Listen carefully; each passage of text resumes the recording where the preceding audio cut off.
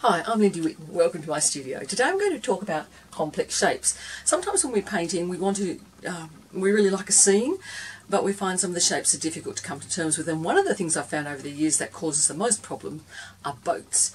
And most of us do like boats. They're very appealing. They um, give us a little sense of freedom and adventure as we look at them, or they can suggest moods of quiet and introspection. Whatever the mood we're trying to create, boats are a great way to help when you're down at the seashore and, and having water in your paintings. So today I thought I would look at boats and a couple of different ways to deal with the issue of complex subjects. The first thing I would say is get yourself lots of references. Get used to looking at boats, go where boats are, look at them on the internet. Uh, you can go to Pexel and Pixabay and Wet Canvas and, and look at copy-free copyright free images of boats and start building yourself up a little library of boats. It's very helpful because then you start to get to know what they look like. Secondly, so let's go get yourself a library of images.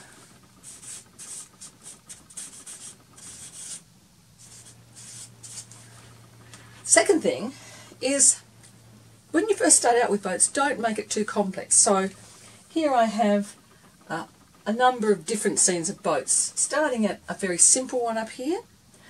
Uh, I've added in two boats, then I've got four boats here, but it, this is still a relatively simple composition because they're quite simple shapes. We're looking down on them and quite easy to deal with that. But then I go and add more boats and more boats and it starts to get a little bit more difficult. So some of the ways we can deal with it firstly, I don't want anyone to think of this as a cheat at all. When you're painting, you are painting, and certainly drawing skills will help you, and it's great if you've got good drawing, drawing skills, but sometimes when people want to paint, they don't have great drawing skills, skills to start off with. So, if you haven't got your drawing up to speed, but you want to paint something, then an easy way to do it, to take your painting here, your photo reference, blow it up to the size that you want it to use it, and then just Let's just turn it over here and go all over the back with charcoal or a graphite pencil. Either will do. So nothing too clever. You don't need lots of things for this. I'm only doing that one section and then we put it back up. Attach it firmly to wherever you're going to be doing it and then we just draw very firmly around the shape.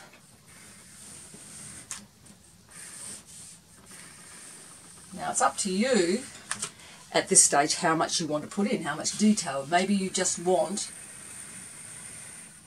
that outline. You can see I've got it on there. Or maybe you do want to put in a whole lot of details as well. And put in the shadow underneath making those little steppy marks there. I can put in the bucket the bucket shadow. I can put in the guides for where those verticals are coming down. Put in some of these other little bits and pieces. And you're not going to keep all those. And this is why I say it's not not you don't need to get yourself tied up into knots about oh I'm not really doing this it's not really my work. So there I've got all the lines. Once I start applying the paint I'm going to lose some of those lines but you've got the idea there and you can keep referring back to it. So that's a very quick way to get a complex shape onto your painting paper or canvas and before you start the painting. Um, and don't be put off by doing that. It's a good way to start. And as you your hand starts drawing those shapes, your brain memory and hand memory start working together and you start to learn how to draw boats. I'm not saying that you shouldn't sketch boats and try and draw them from life. You should. And you should try and drive, draw them from your photos. But that's a good way to get started before you gain the drawing skills so that you can include a boat if you want to into your photo, into your paintings. So Another way you can do that transferring, so here I've got a more complex scene than this. I've taken this photo, and I've moved it a little bit. I've blown it up to the size I want and then I've put a sheet of graphite transfer paper underneath it and you can see white side goes against um, the back of the picture you want to transfer and the graphite side goes against the paper that you're going to use. I've taped both of them at the top so that at any stage I can lift it up and see how I'm progressing. So again, you need to use it quite firmly. So I'm, oh, oh. So when I'm doing this, I've got some very straight lines there and I might use my ruler to help with those and just put them in the graphite will. Uh, and I, I might not be too strict about how they're going in, just to get the nice straight lines of the jetty where they should be. That's sort of going to be the background. And when I've got that little bit in, I'll just check to see, is it coming through? Yes, it's coming through. And then I'll start working on these. So here I go, just following the outline oops, of the boat. Working my way right around to the back there, over, down I come, working around. Then I do the other side.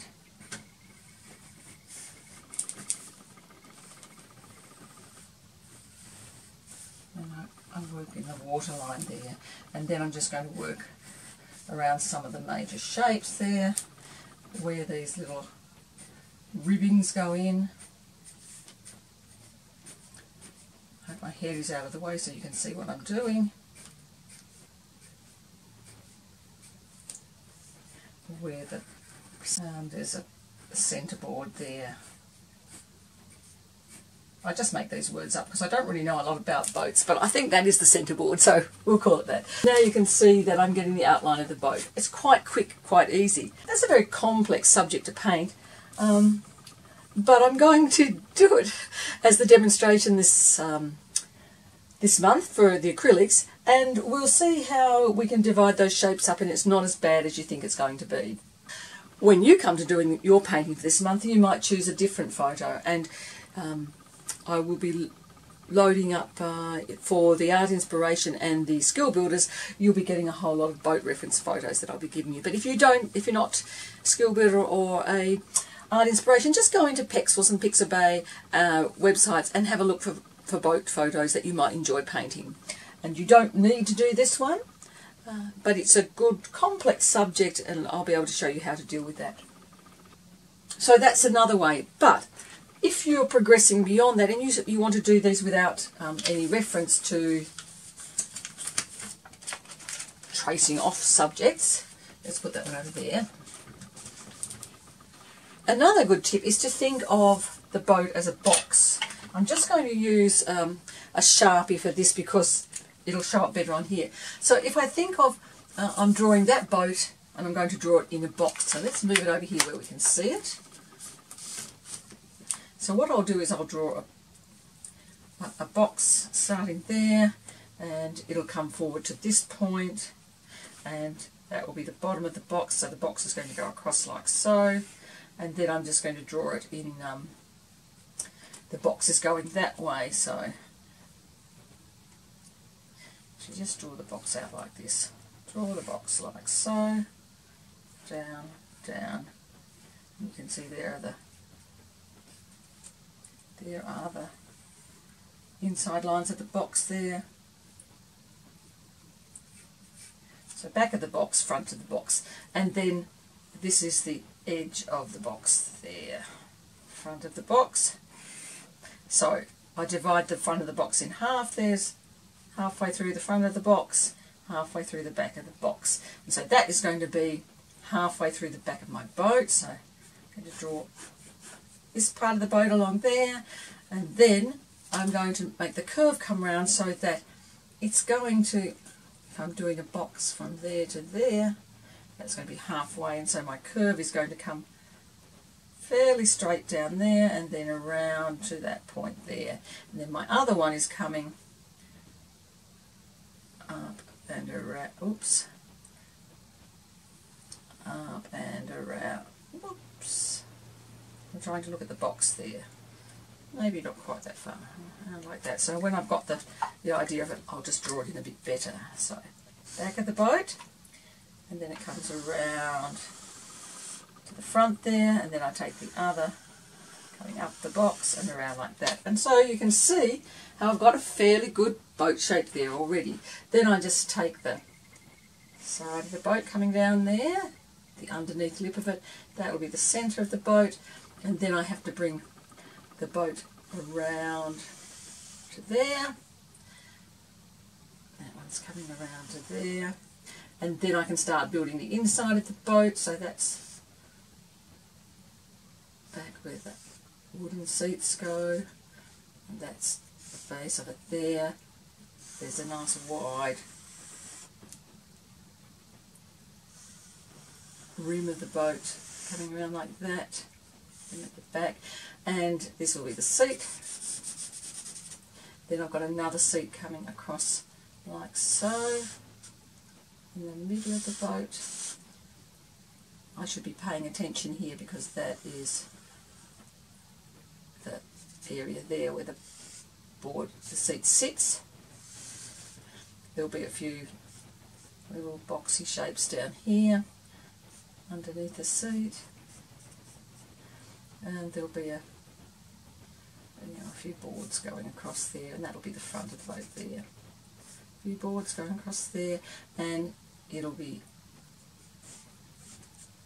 that'll be the floor of the boat there. And then you can start adding in the little bits here the little board whatever you call those things. I've forgotten what I call those things. The little floaty bits around there. Oh, I, I took my eye off the boat and I've put them around the base there. They should be going around here. So that's where my little bumper things are going around the edge there. That's the, that is the water down there. So I'm just making that the water. And that, then you can see where the, the reflection goes there. So I've just put that in a little reflection, coming back around here somewhere. So that's going to be the darker area of water. Seat goes across. I do all this, I lose the box, but I keep a good shape of the boat. I should have made it more the front of it's further over there, isn't it? And once you get the idea of this, it becomes easier to do this without worrying too much about putting the box in. There I've got the seat. That's the floor coming around there. I've got another line here where the seat comes across. a little boxy bit underneath it.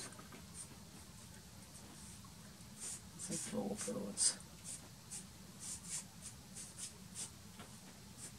And you can see the idea I can change the shape of the boat by changing which way the box goes. That box would be going more like that. So I hope that gives you an idea of how you could start out drawing boats. Um, and until you get to the stage where you've sketched them up and you're happy to draw them uh, freely, then try one of these other methods of transferring a complex subject. So it doesn't need to be a boat, it could be a house, piece of architecture, they're always quite, quite complex too. So when you've got a complex shape, think about collecting a series of images around it so you become familiar with them. Do some sketching, but also if you need to put in a complex shape and you don't feel comfortable about getting the shapes right, try either putting some charcoal or graphite on the back and drawing through onto the surface you're going to use it on or using some transfer paper. Okay, I hope that makes you feel a bit more comfortable about tackling a complex shape and a complex subject and that's what we're going to do this month. We're going to paint this series of little rowboats and it's don't get worried, it's not going to be too complex. I'm going to break it down into some easy steps for you. See you next week when we start in on the painting of these boats in the meantime, this will be a, a, a JPEG of this will be attached to your lesson notes for today and you can start uh, playing around with that and drawing it up to scale and seeing if you want to crop it in any way. Okay, see you next week. Bye for now.